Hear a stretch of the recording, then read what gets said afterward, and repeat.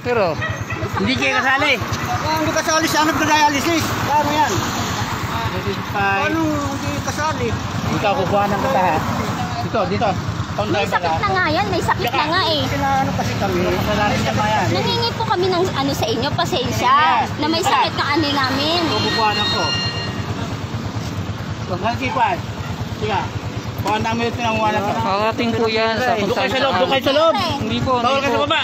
May sakit ang anak namin, nakikita nyo, ayan no, nagda-dialysis oh. Galing kami sa dialysis. Hindi man lang kayo marunong maawa sa amin. Wala na nga kaming pera pambayad. Emergency ho ito. Dapat hindi nyo po ito sinisita. Dapat hindi nyo kami Dito ka, gaganunin. dito ka, dito ka.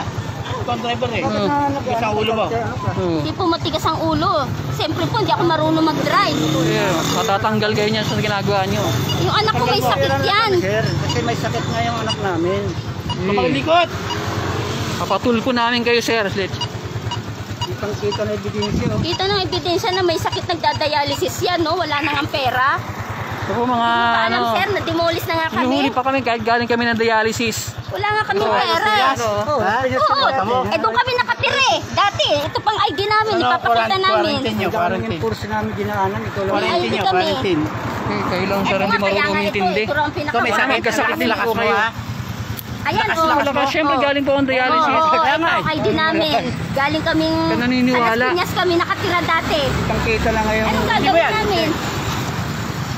May sakit ang anak namin, nagda-dialysis. Ganyan pa kayo. lang. Anong dahilan? Hindi kami nagdadahilan. Ayan, nakitang-kita na nga, oh. Ha? Dahilan po ba yan? Yan? Oo. Pag namatay ang anak namin, kayo may kasalanan yan. Lakas pa sa kalabaw yan. Naku ang galing pa magano. hinihingal na nga yan eh. Tayo. Doon tayo sa ano magsubo. Wala nga kami pera, ibabayad namin dyan. Kami nagdadahilan. Firman. Sige, sige. Ayan Diba? na, wala tayong magagawa. Pirma ako na eh. Dadagdag ang violation mo. Sige. Firman. Magkano matutubusin namin dyan? Dunin mo sa munisipyo. Doon sa munisipyo. Paliwanag mo ka magreklamo. May reklamo Sige, ka. sige. Perman mo, perman mo. Para Tulurong ano. ka pa. Anong kuluro? Ano kuluro mo? Ayan, no? O, mas maganda. May linya ka. Tama. May linya ka pala. Sige. At saka yung lisensya namin, no? Registrado tong motor namin. Saan ang linya niyan? Sa tracing nga kasi nalipat kami doon. Oo, ito nga, may ID nga. Pinap kaya nga pinapakita namin ang ID namin eh. Ayan, no, galing kami Las Piñas, doon kami nakatira. Sige, sige. Lagyan mo na yan. Ano, ano kayo? Pirma tayo dito? Oo, sige. Permahan mo, permahan mo. Ay, matigas ang ulo Pirmahan mo na. ano na to eh. Alam naman na dihirap na eh. Ganyan pa Ayan, ano. Dapat may awa ka lang yan. Dinaanan namin. Hindi na Uy, siguro. Camila, tatatlo lang kami dyan? dito ah. Sige na, Kasama perma mo namin yung sundalo doon. Yung yung certificate na nga pinakita Kami eh. taga-ticket dito. Kaya, Asan ang munisipyo Ano yan? dito? Eh, gabi na. Sarado na yata. Saan munisipyo yan? Bako Cavite yan. Taga saan kay kuya?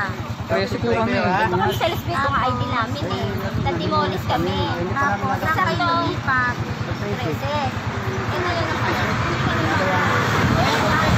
Lockdown. Saan ba yung nagka...